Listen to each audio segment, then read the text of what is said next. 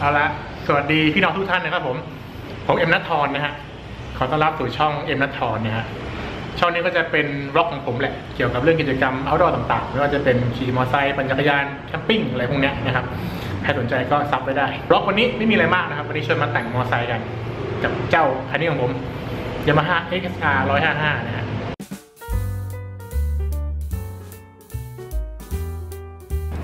รถคันนี้ผมก็ไม่ได้ทำอะไรมากนะ ก็จะมีที่ใส่ก็จะเป็นชิลหน้าบังใหม่นะฮะ แล้วก็ไอ้ตัวนี้แผงปิดปิดคอหน้าตัวนี้เป็นของ Yamaha iX นะ ก็แปลงจุดยึดนิดหน่อย ยึดเข้าไปตรงนี้นะครับทำให้รถมันดูคลาสสิกขึ้นนะดูเหมือน Yamaha ยุคเก่าอะไรเงี้ย ตอนนี้น่าจะประมาณเกือบเกือบสองปีได้แล้วนะ ก็มาจอดไว้หน้าบ้านนี่ยไม่ค่อยได้ขับเท่าไหร่นะครับ ดูดูดิ ไม่เท่าไหร่แล้วตอนนี้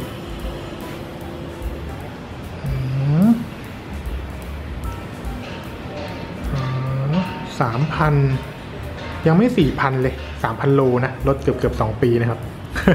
ที่ผมซื้อคันนี้นะ เพราะว่ามันเป็นรถที่ออกแบบในประเทศไทยเนาะดีไซน์ในไทยแล้วก็ทำในตลาดไทยแบบเป็นที่แรกในโลกอะไรเงี้ยนะก็เหมือนเป็นรถรุ่นเฉพาะของประเทศไทยแล้วอะก่อนที่มันจะไปขายที่อื่นอะไรเงี้ย ซึ่งเอาจริงดีไซน์มันก็แบบสวยมาแต่แรกแล้วแต่มันก็มีบางจุดที่ผมไม่ชอบนะ ที่ผมรู้สึกว่ามันขาดขาดเกินเกินนิดนึงอะไรเงี้ย ก็คือช่วงท้ายรถนะฮะ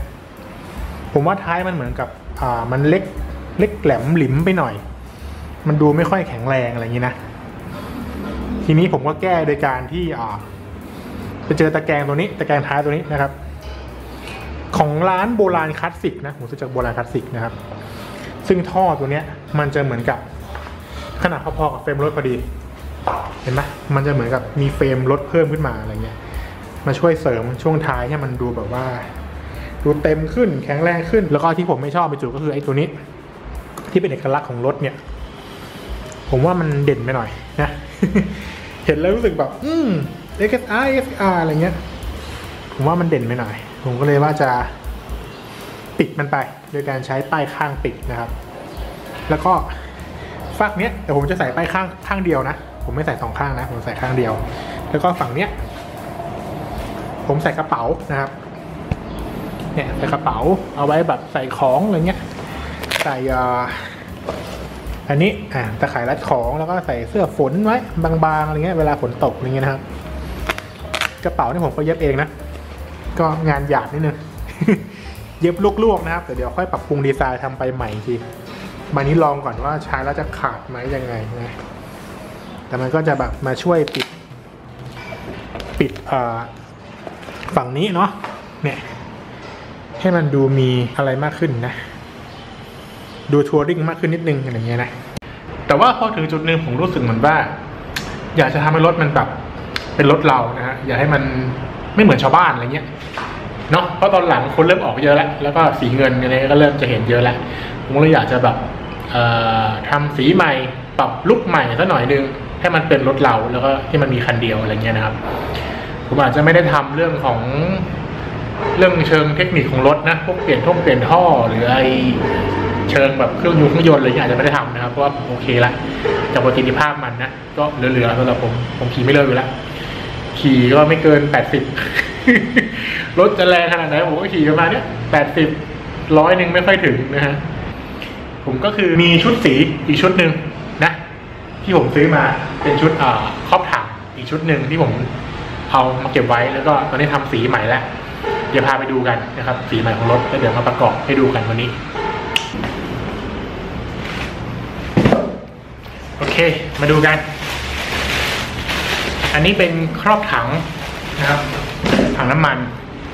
ตัวนี้มันไม่ได้เป็นเหล็กนะ มันเป็นพลาสติกนะฮะที่ครอบถังน้ำมันจริง ๆ อยู่อยู่ข้างในนะ ตัวนี้เป็นตัวที่ผมทำสีเองนะครับ เดี๋ยวมาโชว์นิดนึง นี่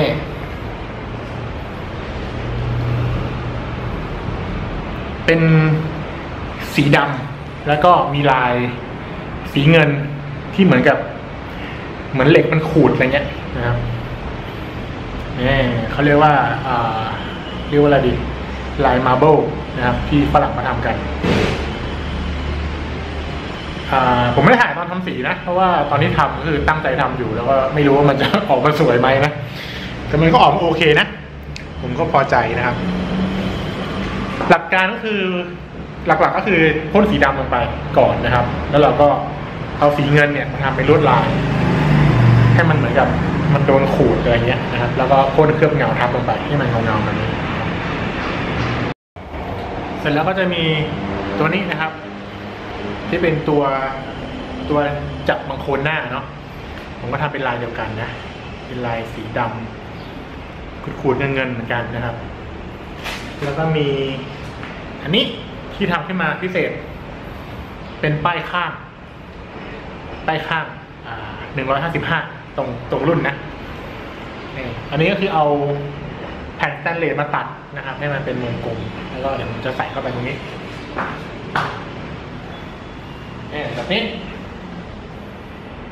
ให้เหมือนพวกแบบว่ารถแข่งแท็กเกอร์ยุคเก่าอย่างเงี้ยนะครับ เดี๋ยวมาลองใส่กันดูนะ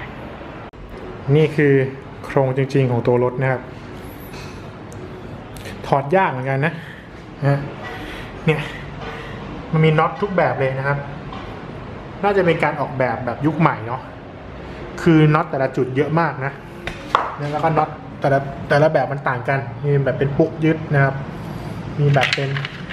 เนี่ยน็อตแบบนี้แล้วก็มีน็อตหกเหลี่ยมแล้วก็มีน็อตแฉก มีน็อตหลายแบบมากนะ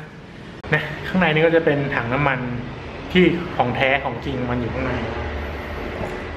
พามาดูเนี่ยก็จะเป็นถังเหล็กเนาะอยู่ข้างในแต่ว่ามันก็ไม่ได้ทำมาให้มันสวยนะมันทำมาไว้ซ่อนไว้ข้างใน แล้วก็ใส่แฟลิงที่เป็นถังปลอมครอบไว้นะลืมเล่าว่า ตอนแรกที่ผมซื้อคันนี้มาใช่ไหมผมก็ซื้อครอบถังมาด้วยมาเผื่อ เพราะผมคิดว่าผมจะมาเปลี่ยนสีเล่นนึกออกไหมวันไหนเราเบื่อสีเงินเราก็ใส่ครอบถังสีดำอะไรเงี้ยนี่คือความคิดตอนแรกนะครับ แต่พอลองถอดดูครั้งแรกคือแบบอืเหนื่อยนะครับ ครั้งแรกที่ผมงมนานมากนะกว่าจะหาเจอว่าไอ้น็อตตัวไหนอยู่ตรงไหนบ้าง ตัวไหนมันต้องใส่ตรงไหนอะไรเงี้ย นานนะครับ แต่นี่คือถอดมาหลายรอบแล้วก็เลยเริ่มโอเคแต่ว่าไม่ได้ง่ายนะ ไม่ได้ชิวในการถอดไฟลิ่งคันนี้ถอดยากมากนะครับน็อตเยอะมาก โอเคเดี๋ยวมันจะใส่ตัวครอบถังใหม่ลงไปนะครับแล้วเดี๋ยวค่อยมาดูตอนเสร็จกันว่ามันจะออกมาเป็นยังไง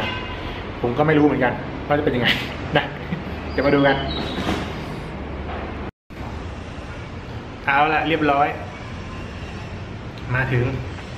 ชิ้นสุดท้าย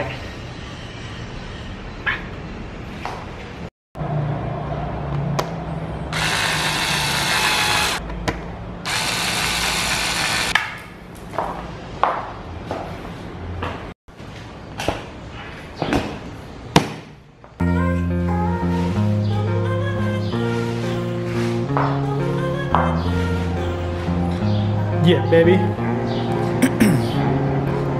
Ice in my veins, I've been driving this train. Years in this lane, there's no stopping this flame Cause I came to the game and I changed it to play. How I like, rearranged it to my own domain. Yeah, I got what it takes, made lots of mistakes. Taking shots, skipping breaks, feeling lost, feeling great. Popping off, singing straight, never stopped, never changed. All the squad here to play and I've got something to say, yeah. I work hard each and every day โอเคเรียบร้อยนะครับ ผลงานการคัดซ่อมรถมอเตอร์ไซค์ Yamaha XSR 155 ของผมนะ ถือว่าเป็นที่พอใจนะ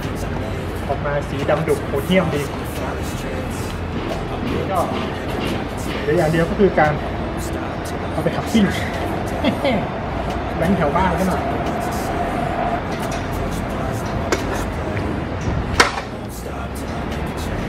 โอเค ขอบคุณทุกคนที่รับชมครับ ออนุญาตไปซิ่งก่อน